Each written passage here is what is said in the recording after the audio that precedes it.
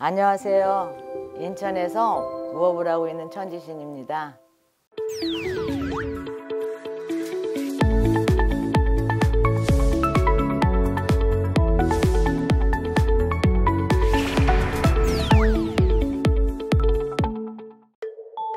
내가 13살부터 좀 이상했고 그때는 이런 건지 모르고 어, 말을 했는데 워낙에 우리 집안에 나를 그런 쪽으로 못 가게 하려고 다들 어른들이 그랬는데 그동안에 이제 많은 굴곡이 있었고 내가 마지막에 받으려고 마음을 먹었던 건 꿈에 음, 네가 무당을 안 하면 네 딸이 무당을 시킨다.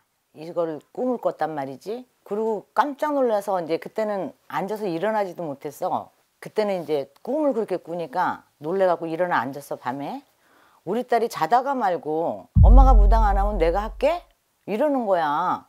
우리 아저씨랑 나랑 둘 다 놀래갖고 벌떡 일어났잖아. 일어나서 난 앉아있는데 그러더니 씩 가서 또 자. 그래서 내가 그날 아침에 일어나서 혼자 일어났어. 이제 일어나서 씻고 점집을 간 거야. 가게를 내놓으면서 거기서 이제 아는 우리 집에 오던 손님 아이가 무당이었는데 걔한테 간 거야. 갈 만한데 아는 데가 없으니까 무당집을 안 다녔으니까. 가갖고 나는 그냥 내가 먼저 얘기했지. 내가 무당이 되면 우리 집 식구가 괜찮고 우리 딸이 괜찮냐 그랬더니 괜찮대. 그러면은 구슬하겠다. 어떻게 해야 되냐? 뭐 굿당에 가서 하고 먼저 그럼 내가 다 정한다 해서 날도 내가 잡고 북한산에 내가 꿈을 꿔갖고 그것도 내가 잡고 그래갖고 이제 무당이 된 거지. 우리 딸이 건너와서 얘기하는 바람에 내가 무당이 됐다니까. 고개를 숙여버렸다니까. 전체적으로 다 바뀌었죠.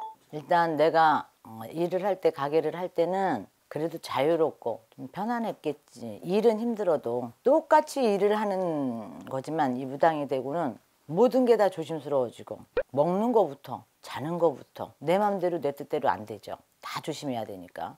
지금은 내가 무당이 돼갖고 어쨌든 우리도 공인이니까 더 조심하게 되는 거지. 모든 생활이 압축됐다고 보면 돼. 그냥 바깥의 생활은 없다고 보면 돼.